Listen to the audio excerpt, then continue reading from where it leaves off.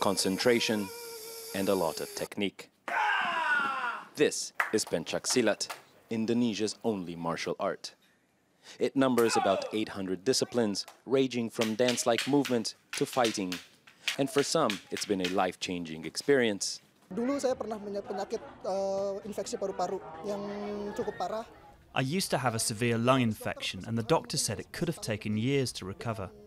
But by regularly training with the breathing technique, I thankfully recovered without needing any medical treatment.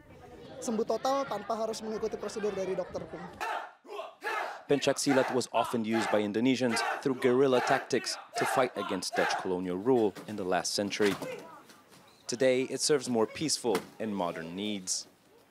teknik pernafasan ya The breathing technique is the core subject of our discipline.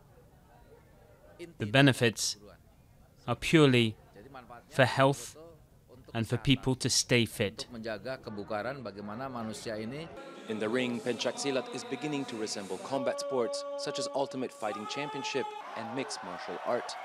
The ultimate goal, though, is for the sport to gain Olympic status. we are we are very very optimistic not for the Tokyo but at least for the following Olympic Games uh, Pencak Silat would be uh, competed on the games.